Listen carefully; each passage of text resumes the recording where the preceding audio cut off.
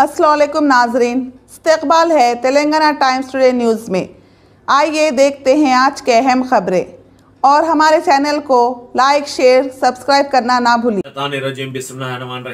अजीज़ान मिलत इस्लामी अस्सलाम वालेकुम रहमतुल्लाहि व बरकातुहू मेरी नज़र से एक वीडियो गुजर रही थी जहाँ पर धर्म संसद का डिस्कशन चल रहा था। नित्यानंद और वगैरह वगैरह लोग बेखूफा बैठे हुए थे। वो कह रहा है कि धरती से इस्लाम को ख़त्म कर देना है। इस्लाम मानने वालों को धरती से ख़त्म कर देने का है। तो अरे बेवकूफ़ तेरे जैसे कुत्ते कई आए, भूखे चले गए, ऐसा चलते रहता इस्लाम तो ताक़यामत तक रहने वाला है। ये एक ही मज़हब है अल्लाह ताला का। यही मज़हब सही मज़हब है। तो जैसे इस्लाम को ख़त्म करता। मैं आप सबसे अपील करता हूँ कि इस्लाम को ख़त्म करने वाले को ख़त्म करने के लिए एक करोड़ रुपये मैं नाम पे रखता एक करोड़ रुपए मैं दूँगा, ये जो बोल रहा है, बोलने वाले को ख़त्म करने के लिए। क्यों? मतलब हम बर्दाश्त नहीं कर सकते। हम ना तो अल्लाह की शान में गुस्ताखी करने वालों को बर्दाश्त कर सकते, ना तो हजूर की शान में गुस्ताखी करने वाले को बर्दाश्त कर सकते, ना तो इस्लाम की शान में गुस्ताखी करने वाले को बर्दाश्त कर सकते।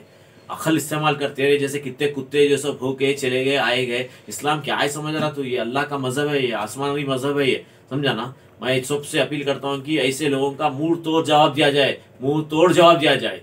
खुदाफिज।